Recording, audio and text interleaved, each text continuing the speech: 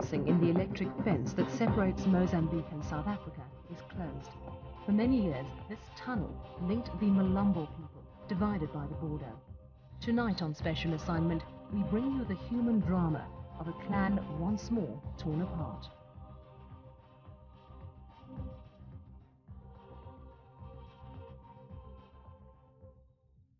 In 1987, an electric fence was built between Mozambique and South Africa. It ran right through the land of the Mlambo people, creating an impenetrable barrier and splitting the clan in two. The Defence Force came up with a plan to counter the bad press this caused. It built a tunnel in the village of Mbuzini to allow families to visit one another across the notorious Norex line. At the end of last year, after much bureaucratic bungling, the tunnel was closed. Like uh, we are standing here, uh, that side is called Swaziland. As you see this boundary, it's Swaziland that side, and uh, it's uh, the Republic this side, it's uh, Mozambique that side, you see. But uh, the whole area was just divided, you know, into three parts dividing, you know, people of a clan.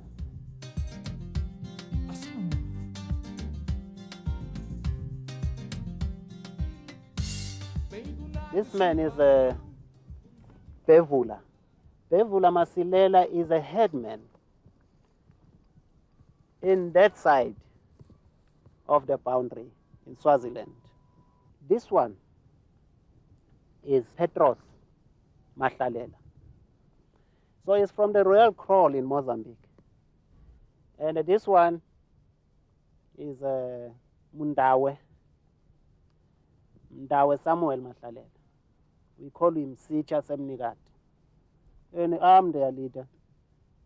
They are my subjects. All these people are Mlambo people.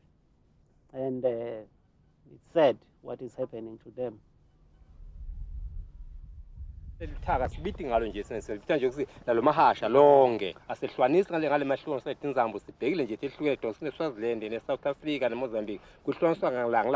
sinekwati kwethu kunye ngoba inkosi yethu yinye ngumlambo kuphela ngoke sisi ngelethu lonke nje letinzambo south africa kunasemozambique cha sikho lapho sinje linye lonke lamlambo heyi kuvala kwelithangela nani? Asikufuni nani nani nani nani? Kubuhlungu kakhulu lokwendekele kuvala kwelithonela ngoba kuvala kwelithonela kusilethela tinkinga kakhulu lesive samlambo sonke siyahlupheka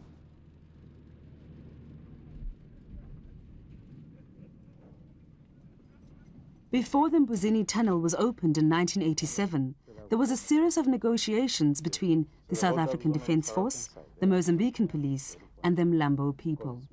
There were meetings that took place like that, but I can remember the last meeting that took place where the official authority was given for the gate to open. General Malan, the then Minister of Defense, uh, came down and he flew with a helicopter to the border, and we, the Defense Force officials, had to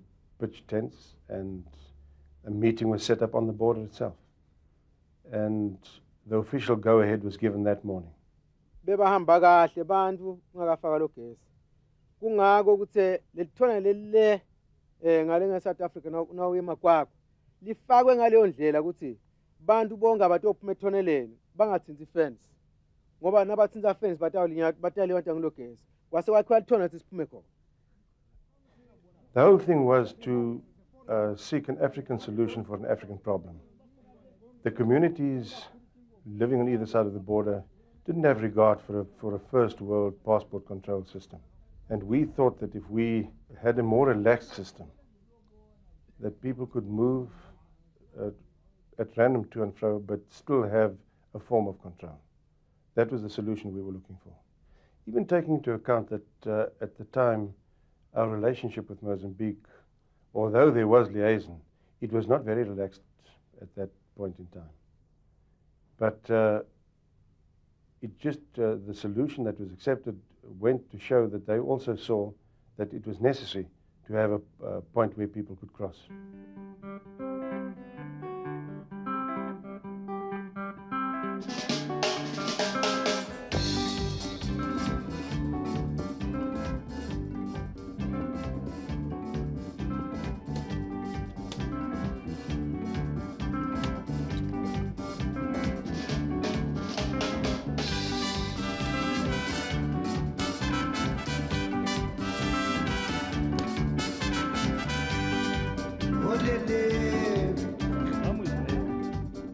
Nós, nós sentimos um bocadinho estranho, porque é, aquele posto foi um acordo entre dois países para a sua abertura. Mas quando os nossos amigos sul-africanos entenderam que deviam fechar, por qual motivo, não sabemos, não vieram nos comunicar. E nós tivemos um encontro com o comandante de Macadâmia. Nós perguntamos, disse que não sabia, só apenas recebeu ordens de, de Pretória para que se fechasse o posto. E nós dissemos a ele, uma vez que o posto, a sua abertura, foi um acordo entre dois países, se existem problemas, também deviam ser postos na mesa para, para se estudar, talvez, outros métodos, o que é que podemos fazer para ultrapassarmos esses problemas. Mas nós ficamos sem saber os porquês.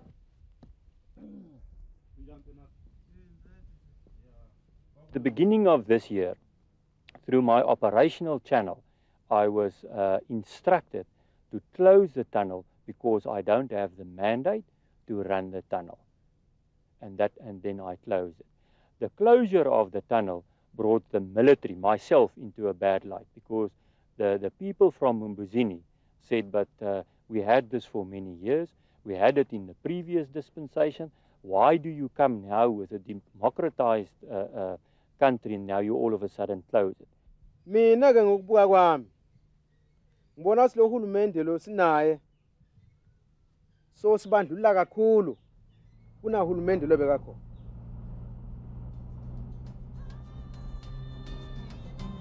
Without the Mbuzini Tunnel, the alternative route is long and arduous.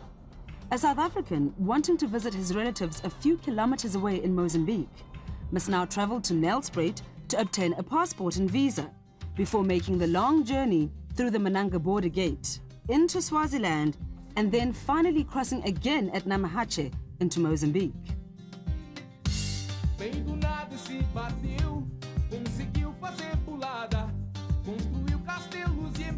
Any Mozambican Mlambo wanting to visit his king must first travel to Maputo, where a South African visa will cost him 300 rand.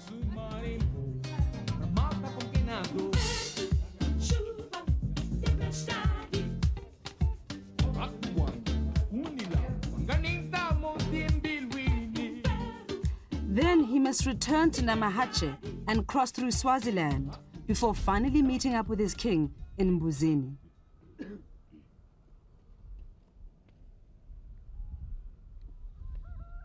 Mas tirar, arranjar 300 randes e ir comprar visa no Maputo para ir a 5 metros, a 10 metros, isso não é possível. Isso obriga que as pessoas violem.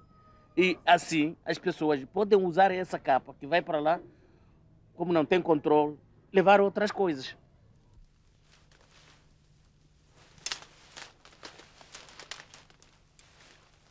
The Mlambo people have their sacred sites scattered throughout South Africa, Swaziland, and Mozambique.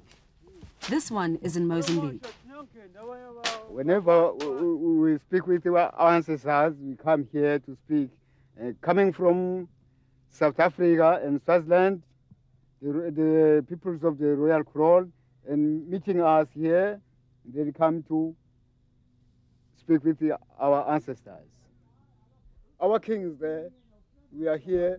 We want to visit the king. The king asks us to call us to be with him there, but we, we, could, we find no other way. in terms of cultural activities, we are not differing from Swaziland.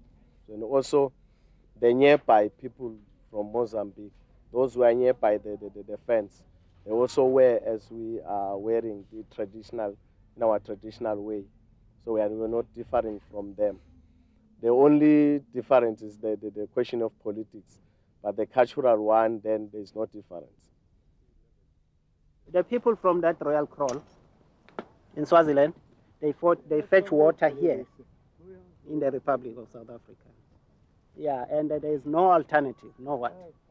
And uh, the, since before the insertion of these boundaries, this river has been here, it has been used by these people. if people will come from Swaziland and get pension here in South Africa, you know, it affects the government, not necessarily our culture, maybe as Mlambo people, but it affects the South African government, the whole government.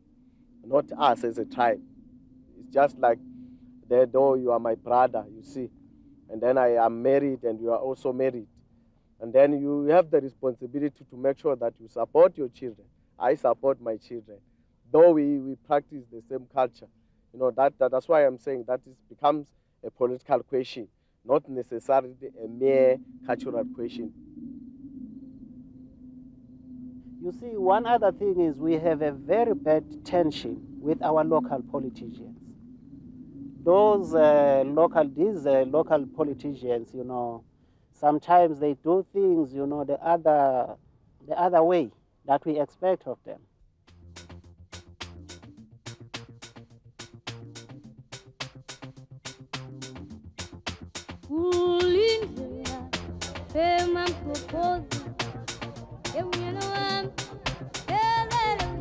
It is pension day in Mbuzini.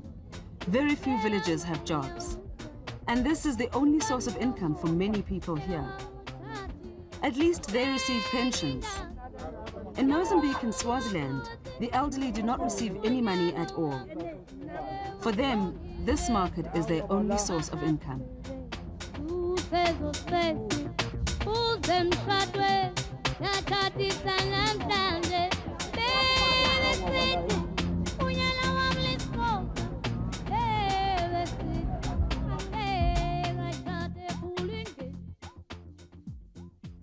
With the Mbuzini tunnel closed, the electric fence is impenetrable.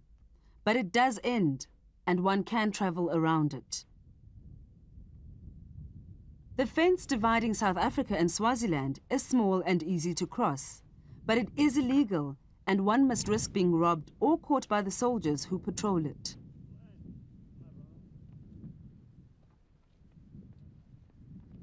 On the Swaziland uh, border, we don't have much uh, uh, illegal Swazis uh, coming into, into South Africa. But yes, they do come in to purchase, etc. as well. Ach, uh, to look after that is, uh, I don't have the manpower, and it is difficult to catch a person because it's family. He comes in and he buys something on the market and he goes back. So there's not, in actual fact, an issue in apprehending him. Mrs. Ngobeni is a Mozambican. She used to cross easily at the tunnel to sell her bread on pension day. Now she is forced to make the long trek through Swaziland with her heavy load. At least this time, she hasn't been robbed.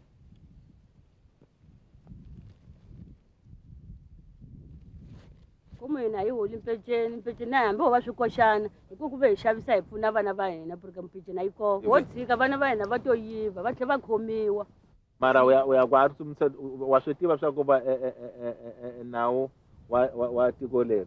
Ku laveka u va na visa wena. Na swi tiva manje kuma ku ve hi ku ku xavisa pawa ma- a malavi a wu yi kumi hi ku ku ve a pawa ra rhandi u nga yi kumi. Loko ni famba ni xavisa hi mumenti ni gama ni gama ni timukela ni ya xava mpupu va dya vatsongwana.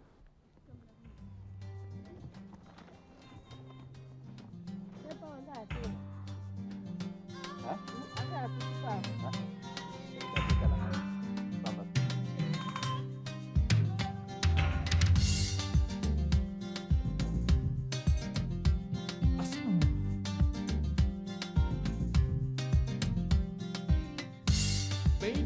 se bateu, conseguiu fazer pulada, construiu castelos e barcos navegou. Later that day, we passed Mrs. Ngobeni on our way back to the market. She had been arrested by the South African soldiers.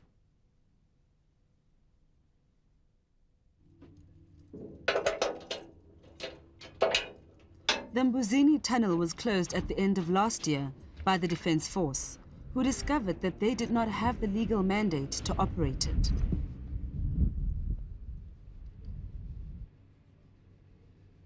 According to South African law, the function of operating a border post falls under Home Affairs. we tend to blame one another. This one is doing that, that one is doing that. And uh, eventually, the South African Defense Force said, This is not our responsibility. Will you, as Home Affairs, take over the responsibilities? Then we said, We don't have the infrastructure. And uh, they said, Also, it's not our responsibility, and we don't have the infrastructure. And what could be the solution? So the solution was that it be closed down. If they open the tunnel and they tell me, listen here, you must look after the tunnel, you've got the mandate and it comes through my channels, I think it's easy to look after the tunnel because you, use, you, you only use two people at the, at the shift. The reason why the South African Defence Force also closed down that was due to the reduction of their personnel, that they don't have enough personnel to run the, the, the, the, the, the, that uh, tunnel. I've never heard them say we are closing because people are smuggling arms, uh, people are smuggling drugs, uh, people are doing this and this. I've never heard them say that. And there was a complaint that uh, there are people that are bringing in goods or taking goods into Mozambique. There was a concern from one of our stakeholders. To say that the Mbuzini tunnel was used as the main smuggle route, um, I don't think that is very true. Uh, out of an objective point of view, you can smuggle through Swaziland much easier. The chief of the area was also approached to inform him that, look, due to the problems that we encounter with the infrastructure, with the abuse, we intend now closing down the informal crossing. But instead of simplifying the job of policing the borders, the closure of the Mbuzini tunnel has only made it more difficult. The problem when we closed the tunnel is that the people uh, made use of the Swaziland border and they crossed the fence illegally because we, we never had cro uh, crosses at the bottom part of the fence, people coming into the country. And on a daily basis, we catch illegal immigrants on a daily basis. If you catch them, you ask them, what are you coming to do here? Normally, it's an answer of, uh, we're coming in for work. That's the most, that's a popular answer. She came from the other side to to look for the nearest hospital because she says she's, she's, she's sick. She came over the other side with her brother, but the brother's got all the necessary papers. She hasn't got. Eh, mina sengitira joni 1970 Mhm. kufa ntukulu wa mina He's uh, actually telling me now when he started to uh, work in Joburg. Says it's Okay. 1976. He requested, I think there was a death in his family or something. Requested to go into Mozambique, no problem. He went there. But the family rituals, were, uh, funerals and things, he was held up so long that the 13th of July came, and that's expiry date of his uh, visa. So now when he wants to come back, he's got no money, never got paid. They don't understand down there, so he chose the fence route. kabani ngawosha babadi charge. Bo badi charge wana ati antaule le iko ICB wa di charge ko sa anise anise tsika ku My personal opinion, that's, that's, that's difficult. But if you listen to the stories that these people tell you, you would be tempted to let them stay, but government requires us to deport them.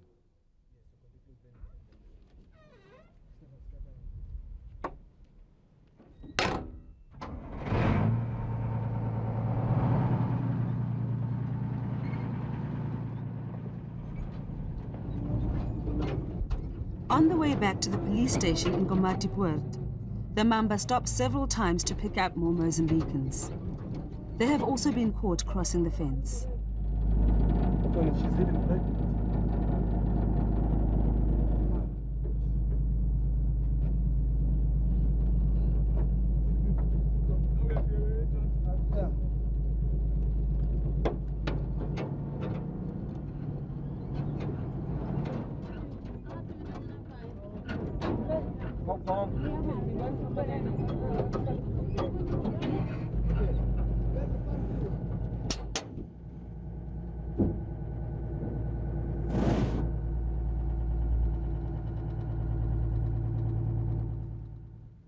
Day we filmed in the area, 87 people were caught crossing the 60 kilometer fence between Komatipoort and Swaziland. This is only a fraction of the total number of people who crossed into South Africa that day. The next day, 1,020 people were repatriated to Mozambique. It's impossible. Um, to stop people, you must really have the manpower and the resources. Even with the Berlin Wall, it was impossible to stop people. And we don't have a, a hundredth of what they have done there. So if you look at solutions on a border area or with illegals, then the solution is not in my hands with military forces. It is a question of, of socio-economic development.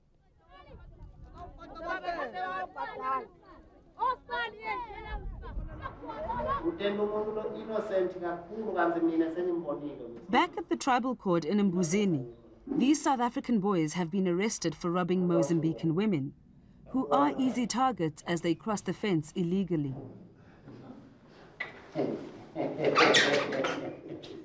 The king asks one of them how he could tell who is Mozambican. He says, it is the walk. It goes with your experience, in fact. It, it's not that maybe Mozambicans are, have got a particular way of walking, but the way a person walks, you know, if you look at him, then you say, this one is not a South African. The black troops, um, let's call it the sixth sense, they know and they sense that this person is not from Mozambique. You can obviously tell Mozambican features. It's white skin, hungry looking. Maybe to you, as a person that's not working with uh, these uh, different uh, uh, uh, nations, it, it will be difficult for you to detect. The, the mark here, uh, then it becomes easier for one to identify whether you are from South Africa or from um, Mozambique by this mark. It's, it's, it's on the arm here. Normally with us uh, in the old days, it was on the, the shoulder. Yeah, well, it depends uh, on their historical backgrounds individually. You can have those that have both. You can have those that have one.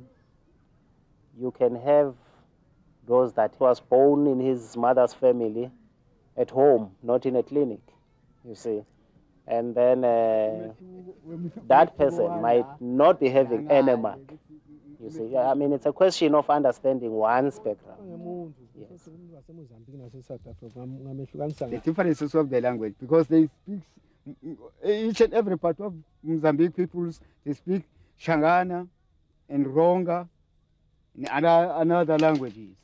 Because the, the boundary, that's why uh, says uh, that's Mozambican. But it's not Mozambican, the Swazi under.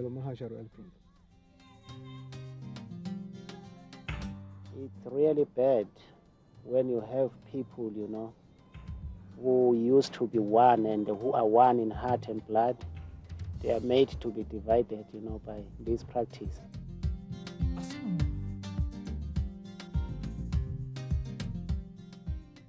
I wish my people to be united. How? Nobody knows. But I just want my people to be united.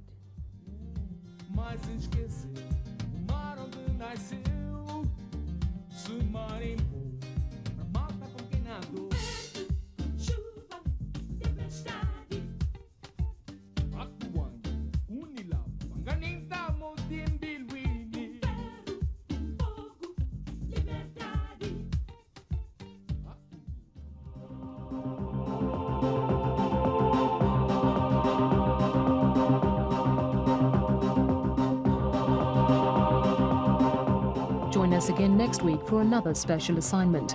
And if you have any comments or suggestions, you can email us at truth at sabc.co.za.